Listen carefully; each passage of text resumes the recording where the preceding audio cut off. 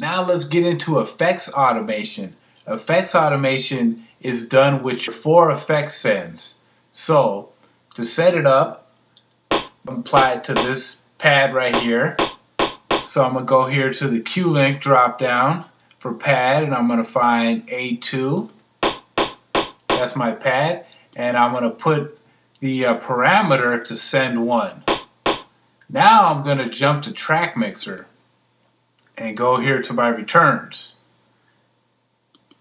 And this is where I pick the effect I want to use. In this case, I'm going to use a reverb. Jump back to main. So now I have this uh, snare and this Q-Link tied together where Q-Link 1, full reverb, no reverb. So I'm just going to play that in.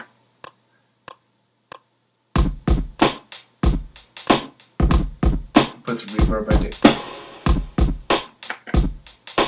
So I just put that in there.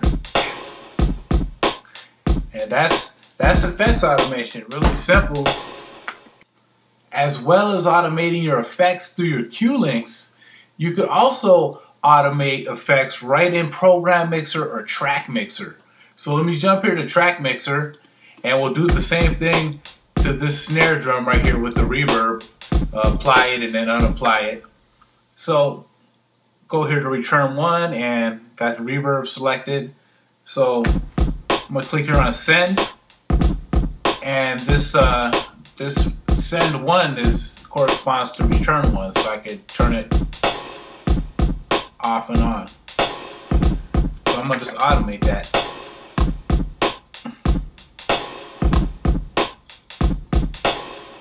There we go.